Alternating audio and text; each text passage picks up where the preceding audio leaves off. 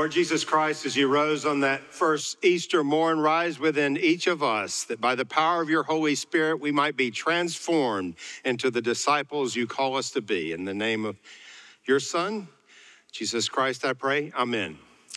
Good morning. Yeah, it's still morning. Some of us have been here a long time, so uh, let's let's try this out. Hallelujah, Christ is risen. Okay, so we're going to try that one more time. Uh, it's the Lord is risen indeed. Choir got it because they've been here all morning. All right.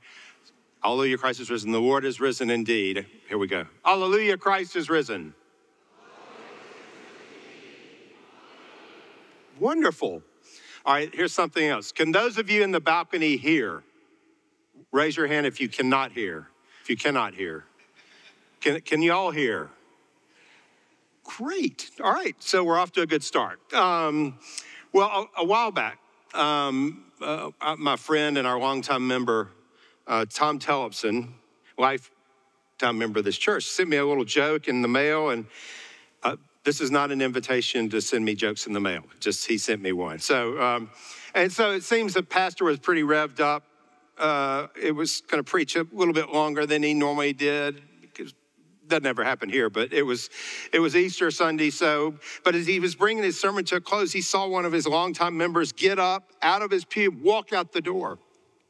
And this distressed the pastor so much that uh, after church, he called the man. he said, I, "You know, I couldn't help noticing you. You got up and you left church right at the end of my sermon. Did I say something that offended you? Did I say something that bothered you?" Heavens no, the old man said. I, I just realized I needed a haircut. I said, haircut, the preacher said. He said, yeah, you know, could you not have done that before you came to church? He said, well, you know, honestly, I didn't need one when you began preaching, but uh, by the time you were finished, I, I did. There is some real temptation for a preacher to do too much on Easter Sunday we know this is kind of the Super Bowl for the church, uh, the spiritual Super Bowl. It's the biggest, it's our biggest sale day of the year, you might say. We realize we might not get a chance like this again until Christmas Eve for some of you. Um, because I know some of you are visiting today and some have been maybe been away for a while. Some of you are here, I would say. Let's be honest, because you're, you're not quite sure what the resurrection story really means to you. And some of you might be here because you're, you're giving God a last shot. Uh, a preacher does not want to miss the opportunity to help connect the dots for any of you who might be like any of these. So here's a small request uh, for the next few minutes. For whatever reason you're here, uh, let me invite you to ponder with me. Let's really dig into the resurrection story. One of the things I love about the Bible stories, and particularly those around our Lord Jesus, is it always, it seems like sometimes God always saves the best for last. I think when Mary got pregnant, you remember Joseph wanted to turn her out because of the embarrassment it would bring to his family. And that story turned out well. Lazarus was in his tomb for quite some time, and, and his sister thought, you know, that's it. Jesus didn't show up in time, and Jesus shows up, and that story turned out pretty well. And today, Jesus really does save the best for last. Before I go on, let me say, you know, my wife Laura uh, will usually not let me go shopping for clothes on my own. Uh, I have absolutely no sense of fashion. I hate shopping. And one of the reasons she often comes is to talk me off the ledge when I want to abandon ship to my old comfortable clothes. But she's also there to remind me that with the passing of time, fashion also changes. My problem is, if it were up to me, I'd end up looking like a 1970s John Travolta, kind of proudly strutting out my style in a suit, where, you know, kind of hearing in my mind the Gees song, you can tell by the way I use my walk, you know, I would look very 70s. She's there to take my hand and show me a different way altogether. But you know, Jesus wants to do something similar for you and for me, though on a far different scale. He wants us to see beyond our day to day lives and our present and persistent circumstances. I would like to say he, he wants to give us Easter eyes, if you will that everywhere we turn, we see not darkness but light, not death but life, not bloody crosses but empty tombs. He wants to change our world as he did that first Easter morning. And it all begins with a simple, powerful image a stone rolled over from the gospel lesson's first line. Early on the first day of the week, while it was still dark, Mary Magdalene came to the tomb and saw that the stone had been removed from the tomb. The stone rolled away is how this story ends and begins. Jesus is in the business of turning over stones, particularly those that might get in the way of allowing him to take hold of us. So I'm going to ask you to ponder this question What stone might you bring today? Maybe it is doubt. You may be here today because you love the Easter story. You love that the drab darkness of Lent and Good Friday have been wiped away and the colors have returned now to the church. You may be saying, I do love all of this the new hat, the seersucker suit, the new dress, the white bucks, but I'm not sure there's much for me beyond that and all of this. I mean, I wasn't there, I wasn't at the tomb. Our culture does that to, to, to some degree. Our culture has pretty much tumbled into a kind of Seinfeld esque cynicism about the whole thing. And so, for some, the core message of Easter has dwindled into metaphor and symbolism, perhaps even buying into what some modern scholars have identified as a nicely inspired legend. But it is not that, is it? Easter is not about winter slipping into spring. It's not supposed to just give us warm feelings. Ah, oh, the cold weather has passed and the tulips are now breaking through the ground again. We know, we must know in our guts that there's so much more to it than that. Within the span of 24 hours, one event will capture the world's attention more than any other single moment in 2024. More than draft day, more than a selfie snapped at the Oscars, more than the opening of a blockbuster film. Billions will gather today from every language, race, culture, the rich, the poor, and everything in between. Studies are actually showing that while there is some decrease in church attendance, this year it's estimated that a record number of Christians will gather around the globe for Christian worship, about 2.3 billion kings, paupers, politicians, and scholars of, on every continent of the globe. And they, as we do today, will recall and claim the central truth of the Christian story, which is the resurrection. What world history not church history, world history tells us, is that virtually every one of Jesus' apostles received martyrdom willingly, as did millions upon millions of others from the streets of ancient Jerusalem and Rome to those of Egypt and Nigeria and Russia and China today, in our own day. And they do so not for a legend, they've done so in masses too large to number because they know Christ has died and they know Christ has risen. Give God your stone of doubt. He will turn it over and transform your skepticism into hope. Some of you, some of you may find the Easter story being held at arm's length by a stone of your own sin. But Easter can turn that stone over too. You've done something, you've hurt someone, maybe someone you came to church with today. You feel like a marked man or marked woman. A big fat scarlet S is painted on your head, and you've begun to feel like, what's the use? Just leave it alone. Just leave all that behind. Just leave the stone in place. Not too long ago, I, I had somebody tell me this. He said, You know, I can pretty much sum up the gospel in one sentence. And I, will be honest, I, I, I, thought, here I am. I've, I've, had six years of theological education under my belt. I'm, I'm ready to take him on. And so I said, okay, uh, give it a try. And he said, well, we messed up and God came and fixed it. I've heard worse. And it kind of made me want to get my money back for those six years of theological training. Easter is not for the saintly, it's for the sinner. You know, one reason the angel told that the women who come to the garden to not be afraid, because if the stone was turned over, it meant, you know, Jesus was alive and he was about to catch them red handed, maybe they felt. They were carrying spices for a dead man, not cologne for a living one, but he said, I see that in your hands. Don't be afraid. In the Matthew version of the story, the angel says, Don't be afraid. He is not here. He has been raised. And then he says this Go to Galilee and tell the others. And what is he going to go to Galilee to do? To kick some apostolic tail for all their doubting and fear and betrayal? No, he's going to tell them that he came to do away with all of that, to put all of that to death as well. Who is one of the first pe- people that Jesus sought to find? Peter. Can you imagine when word gets to Peter, Jesus wants to see you about what happened the other night? He probably thinks, not me, can't be me, doesn't want to talk to me, not after what I've done. That may be you today. I'm willing to tolerate Easter until this service is over, but I just assume keep this bag of stones that weigh me down. There's no way God can forgive me, not after what I've done, not a chance. The Easter story writes in big, bold letters we messed up, and God came and fixed it. I love the words of Corrie ten Boom there is no pit so deep that Christ is not deeper still.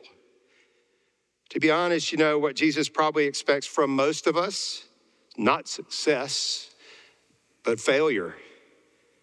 It's not that he does not take delight when you succeed, but but when you don't, and when you come to terms with it, when you come to realize your own sin, that's probably when God says to himself, Now I can really do something with that child of mine. Hand him the stone of your sin, hand him the stone of your guilt, and he will turn it over erasing it by his divine mercy and forgiveness. Another stone some of you may be carrying today is your suffering. You know, suffering can come in all kinds of forms. Physical may be the first that comes to mind, but there's emotional suffering, there's mental suffering, there's spiritual suffering as well. You probably know someone like that.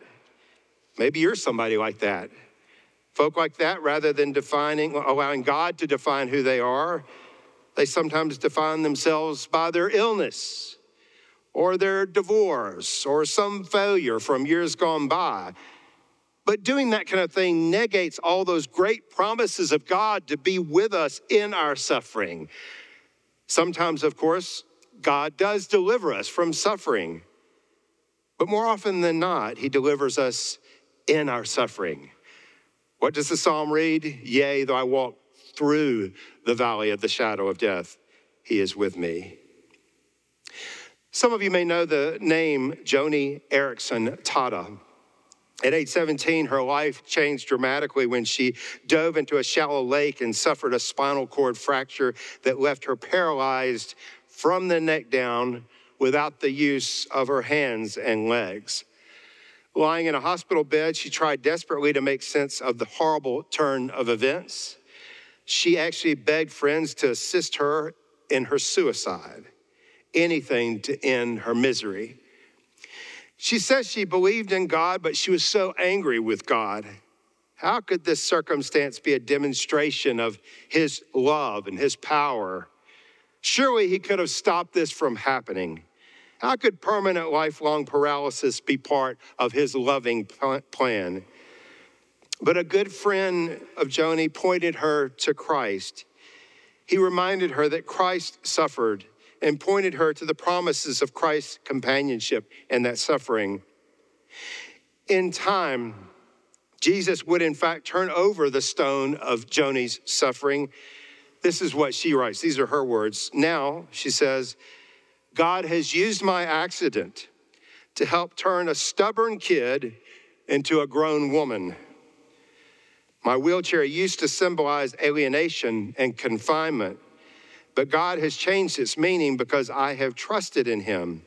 Now my wheelchair symbolizes independence. It's a choice I made and one that anyone can make.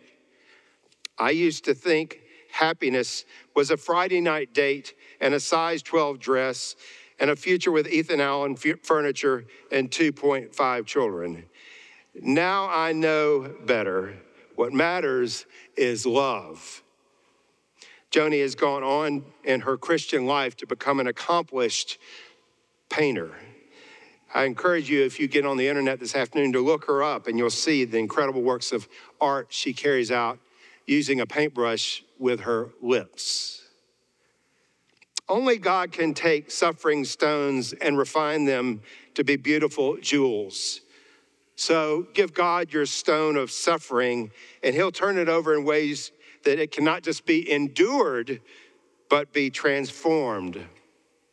So then, as God's power turned that stone away from Jesus' tomb, He wishes to turn over all your stones as well stones of doubt, of sin, of suffering, of all those things that weigh life down. He wants to refine them, He wants to redefine them as an alchemist turns coal to diamond or lead to gold.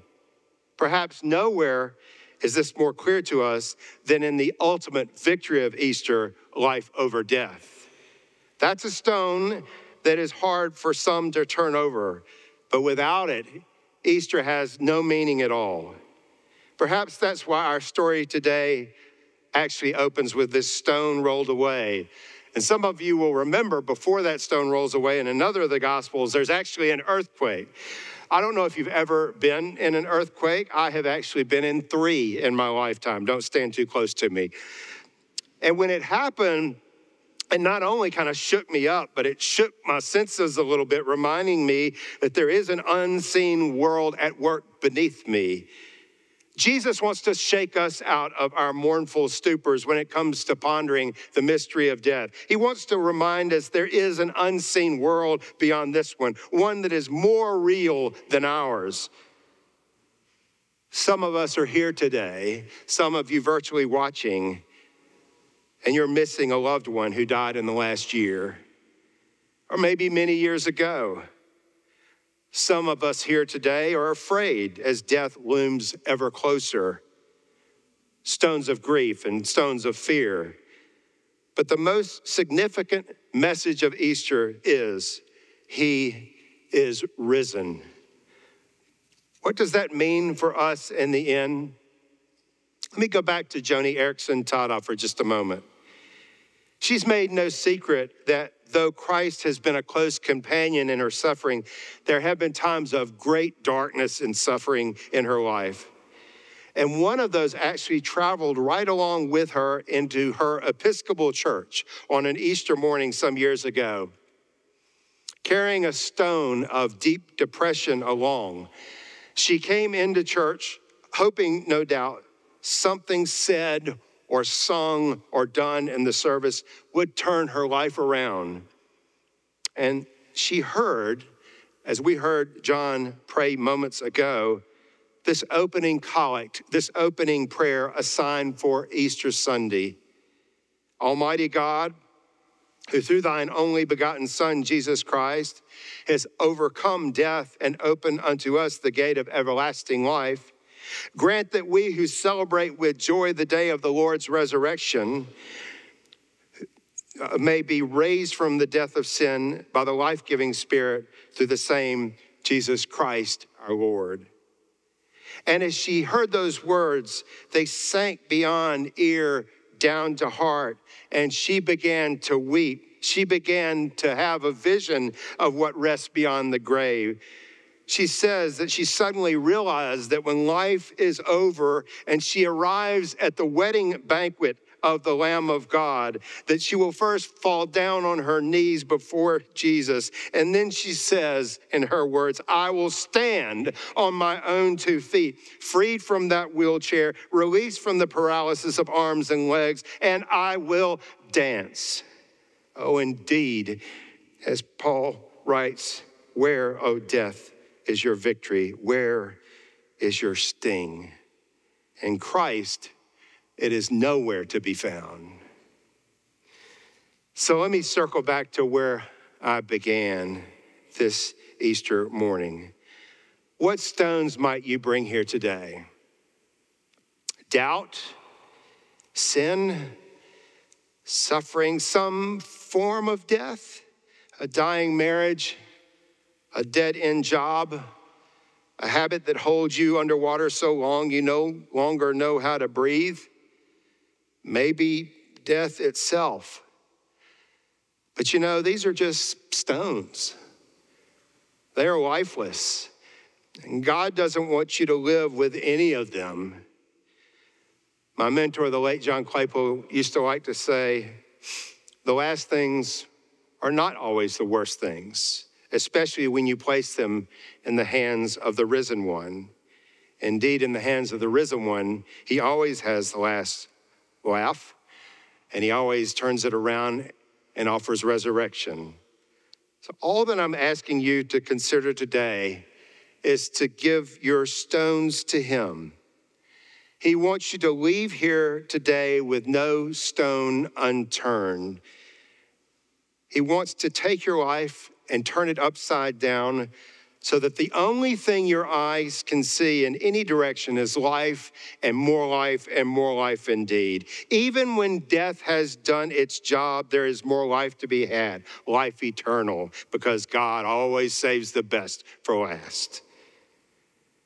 And so, as on the first day of the week, when Mary came to the tomb and saw the stone had been removed from the tomb, as Matthew puts it, they left with fear and great joy.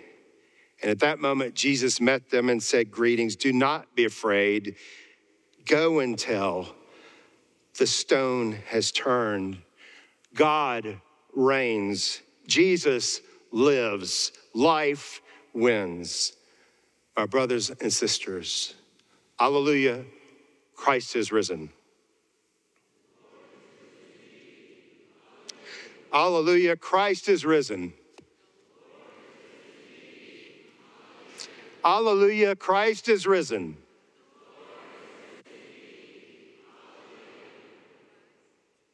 You can take that to the bank.